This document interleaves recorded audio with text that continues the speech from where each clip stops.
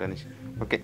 Now as the phone now it has rebooted then you click on next.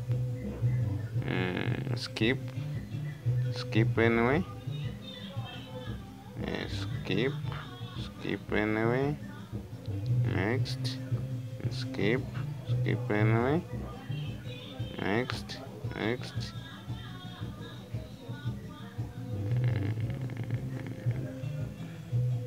yes. Next. Okay. Okay now that is the procedure of, of bypassing this kind of a phone. So i hope the, the it helped you. So subscribe on my youtube channel then like and comment. Thank you.